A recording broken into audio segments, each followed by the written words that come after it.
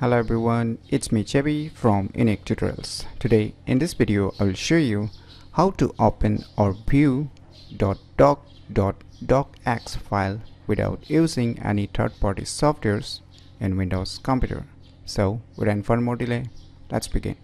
So right now you can see I have one document file. So let me show its properties.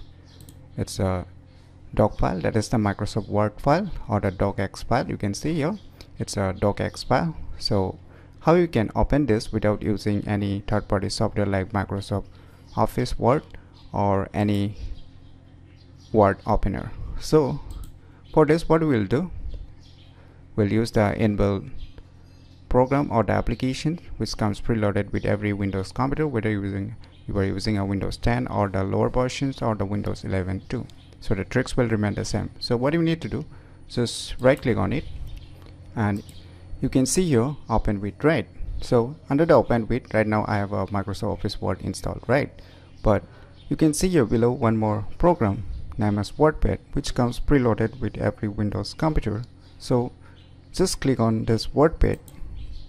Voila.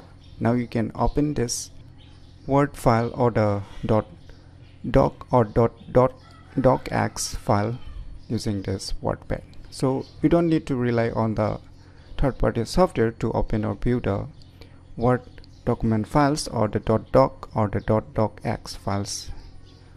So this is how you can open or view .doc and .docx file in Windows computer very easily. So if you never known about this very useful software that comes preloaded with every Windows operating system then you should definitely try it out to open or view the Word or the .doc or the docx file without needing to use any third-party softwares in your Windows computer. So if you find this video tutorial useful, please click on the thumbs like button and if you're new to our channel, click on the subscribe button and lastly, thanks for watching.